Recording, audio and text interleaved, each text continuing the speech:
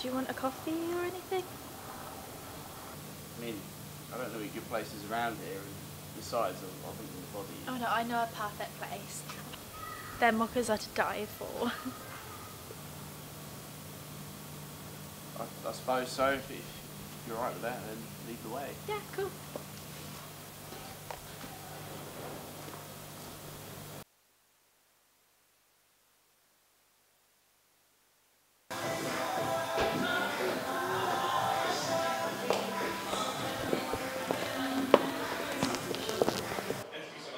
Is this one here okay? And it was a mocha you wanted, wasn't it? Uh, yes, please. Uh, could you get some oat milk? I'd yeah, like yeah, of course. Okay. You wait here, I'll be back in a sec.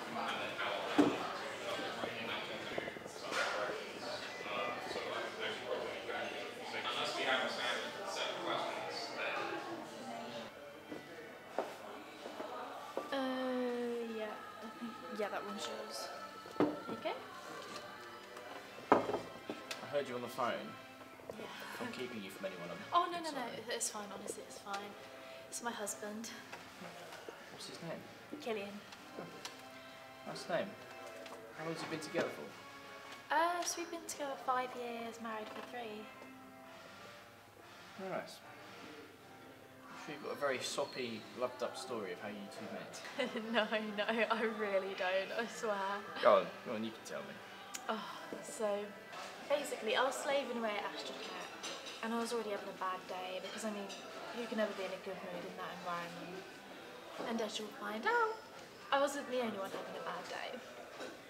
One of the big fish asked me to make a coffee for him, which I obliged, and I made it perfectly actually. It was all going swimmingly well until I went to take it up to his throne and I tripped.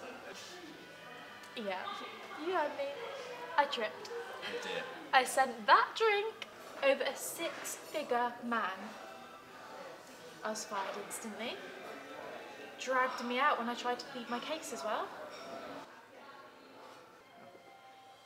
So how does Killian tie into all of this? He was one of the security guards that dragged me out. I bumped into him in a bar the next week and he came over to me and it went from there really. Went from there. How cute. Anyway, enough about me. How come you're in this situation, Lucas? It's a long one. I'm not even sure where to start. You see, I envy people who have a good relationship with their parents. For me, I had a very strained relationship with my father. Very old fashioned way of seeing things, you see. Man provides woman, woman cleans for man. Very old fashioned. That's where things went wrong. I was 18 and I just got my first boyfriend. Chiseled to the bone. Well, so you pulled a big timer there. Exactly. Try my best to keep it from my father. He's also throwing around these awful, awful words. Puff, fag, knob jockey. Just Did you just say knob jockey? What on earth is that?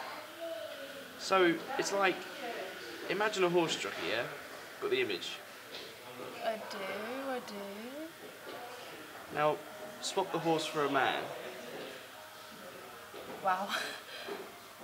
That's a tad bit offensive, isn't it? Exactly. Imagine hearing those words all the time when you're watching something like Britain's Got Talent on TV.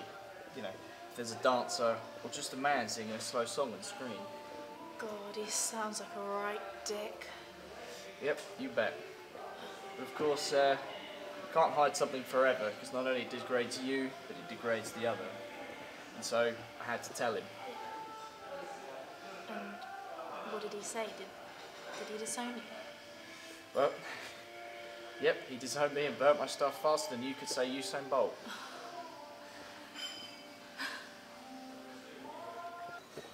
So I was forced to move in with Zeus, and for months it was like heaven. Romantic films, roses in the bar, dates. It was wonderful. Until one day we're laying there, and his phone dings with a person named Pizza Hut. Right. This is when does Pizza Hut ever ask if you're alone? With an eggplant emoji next to it. Wait. So, so he cheated on you? Yep, with whoever the fuck Pizza Hut is. Pizza Hut. Really? Yeah. Pizza Hut, that fuck. Thursday, obviously, uh, I found out, and you can imagine how that went. You kicked me out, and I was forced to couch surf for a few weeks. But there's only so much you can do before you lose your connections and you're out on the street. So, you've mentioned a lot about your dad. What about your mum? Never knew her. I was born and uh, poof, gone with the wind. I guess that's why he's got his incredibly misogynistic ways. I get it. Racist mum over here. When will they ever get out of their old ways? Oh my god. We barely touched our drinks, they've gone stone cold. Yeah. I don't want to keep you much longer either, so should we just uh, them and leave? Shall we? Yeah, we shall. Oh, that is not as good as I remember. I can't, I can't drink that. Well, beggars can't be choosers. well, would you call me a beggar? Um, no, yeah, maybe. No, no, you didn't beg for this coffee, so no. So that gives me the right to choose. You're getting really philosophical, it's hurting my brain. Sorry. But do you understand what I'm saying? These people, they don't mean no harm, but they give me cheese sandwiches, but it'll, it'll mess up my insides. While I may be a beggar, I have to choose. What a dilemma. But anyway, I must be going. Well, where are you going to go now then? Not sure really. Probably find somewhere to hunker down, I guess. We can't be having that. Come stay on my sofa. Are you sure? I mean, how is Killy gonna fare on this? I'll make it okay. Don't worry. Alright, lead the way.